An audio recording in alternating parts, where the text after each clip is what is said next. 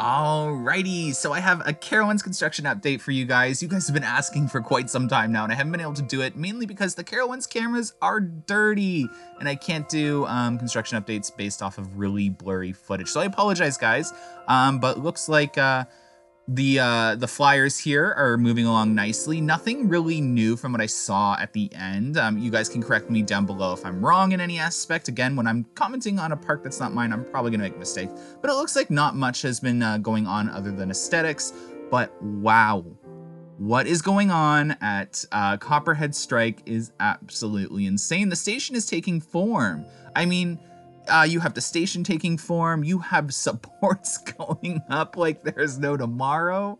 Um, there's supports everywhere. It's absolutely insane. In fact, I've never seen so many supports not connected to track just sitting up there.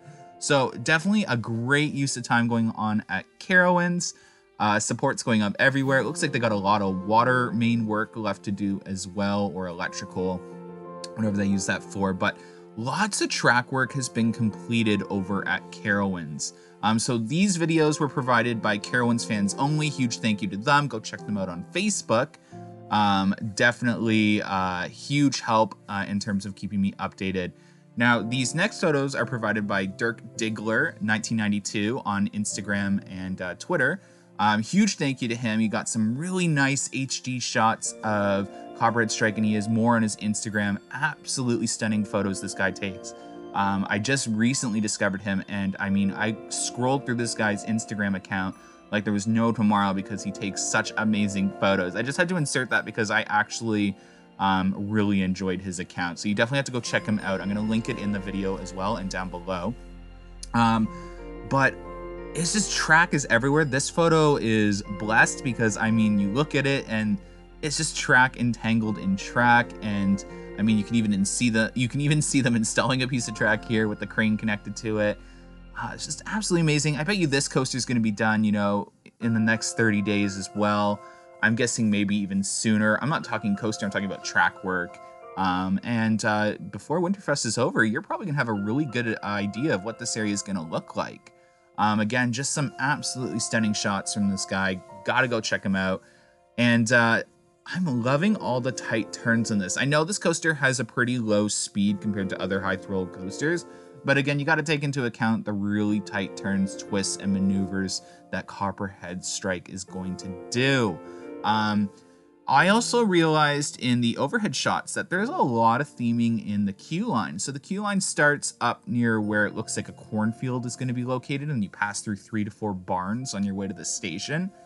Um, and then you have the station building itself that look is going to look absolutely stunning just based off of this picture alone. And then you have the the show building before the launch, which is probably going to have some sort of snake and the granny catching you in her barn. You're gonna run like it does in the teaser trailer.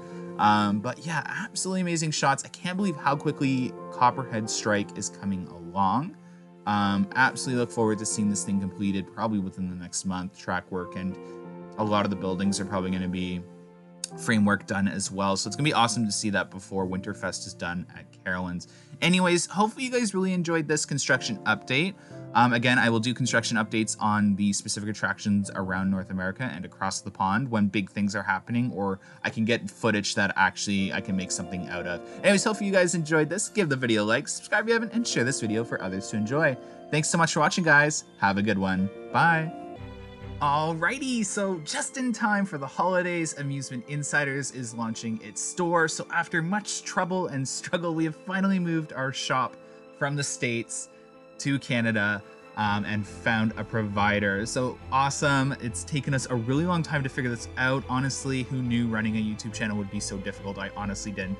But we finally have our merch. So we have our calendar, which is super awesome, available for purchase for Christmas or the holidays. We have our photo album, which is actually really cool. Um, that was a last minute buy just because I saw it and I had to get it. Um, with all the photos in there, it looks super awesome. And then we have an Amusement Insiders shirt. Um, so hopefully you guys really enjoy it. We have our Amusement Insiders um, website up um, in soft launch and the shop is on there as well. Um, anyways, thanks so much guys for supporting Amusement Insiders and have a great one. Bye.